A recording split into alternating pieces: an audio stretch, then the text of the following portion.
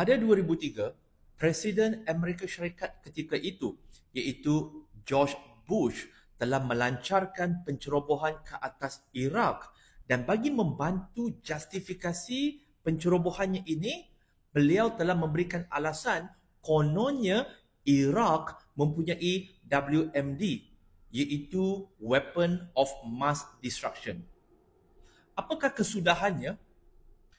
Kesudahannya adalah tiada WMD ditemui dan ini sendiri diakui oleh CIA. 500 ribu ke sejuta rakyat Iraq telah dibunuh. Artifak berharga telah dicuri dari Iraq.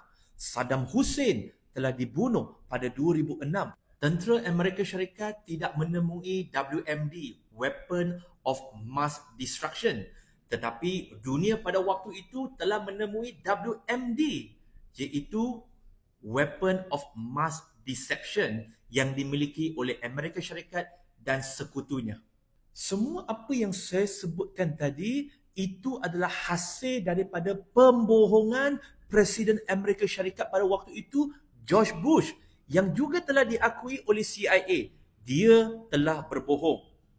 Dan kemudiannya, Perdana Menteri British pada waktu itu iaitu Tony Blair telah meminta maaf di atas kesilapannya. Dan sehingga ke hari ini, kedua-dua individu ini masih bebas dan tiada dakwaan dilakukan terhadap mereka. Hanya satu ungkapan, I'm sorry, dari Tony Blair. 500 ribu ke sejuta rakyat Iraq telah dibunuh.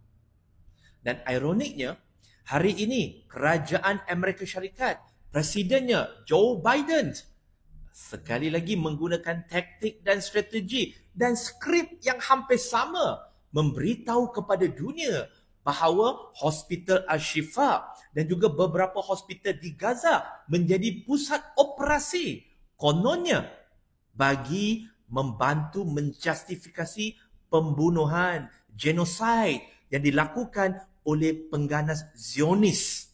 Masih ada yang ingin mempercayai so-called intelligence report daripada Amerika Syarikat? Pak kata pepatah, fool me once, shame on you. If you fool me twice, shame on me. Maka, jikalau ada sesiapa yang masih ingin mempercayai laporan perisikan daripada Amerika Syarikat dengan skrip yang sama selepas 20 tahun. I, I was the CIA director. We lied, we cheated, we steal, stole.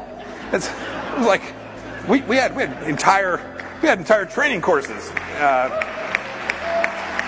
it, uh, it, it it reminds you of the uh, uh, the glory of the American experiment. Maka sebenarnya bukannya Amerika Syarikat dan Zionis yang cerdik, tetapi anda yang sanggup diperbodohkan.